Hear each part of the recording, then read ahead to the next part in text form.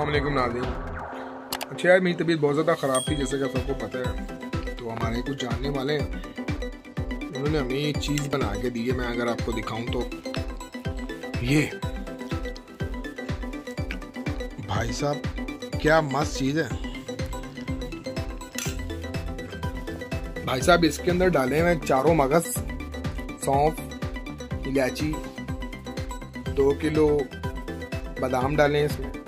और उसके बाद तकरीबन एक किलो काले चने भुने में डाले हैं और सुंड डाली है इसमें, कमर कस डाली है और किशमिश डाला है और बहुत सारी चीज़ें हैं जिनका मुझे नहीं पता, इसमें बहुत चीज़ें ऐड हैं। और फिर ये इसके बाद इसको पीसा गया एक स्पेशल तरीके से और फिर उसके बाद इसमें दो किलो घी डाला गया, फिर उसके अंदर इसको पकाया गया। और अभी जब मैं खा रहा हूँ तो लिटरली मुझे ऐसा फील होता है जैसे मैं कोई एक रोटी पूरी तकरीबन अपने मुँह में डाल रहा हूँ, एक नवाले के साथ। तो काफ़ी मज़े का है, काफ़ी अच्छा बना है ये। तो इससे ये होगा कि मेरी जो पुरानी दर्दें वगैरह मेरे जिसम में, और जो बुखार जो मेरी हड्डियों में घुस चुका है, ये उसे सारा उसको ढूंढ ढूंढ के निकाल देगा मेरी हड्डियों में से। तो काफ़ी अच्छी चीज़ है।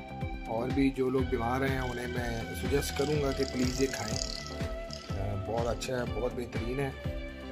और ये कुछ दिखता है इस तरह का, एक मैं आपको दिखाता हूँ। जी भाई, ये कुछ इस तरह का दिखता है। और ये बहुत ही बढ़िया है और काफ़ी थिक है। इसको खाने का अपना ही मज़ा है। इसके अंदर गिरियाँ भी हैं। काफ़ी थिक है काफ़ी मज़े का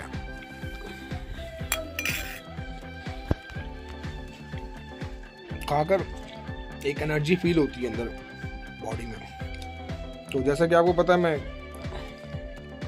कोरोना से गुजर था और डेंगू फीवर भी था मुझे साथ साथ तो ये दबा के मैंने खाया जी।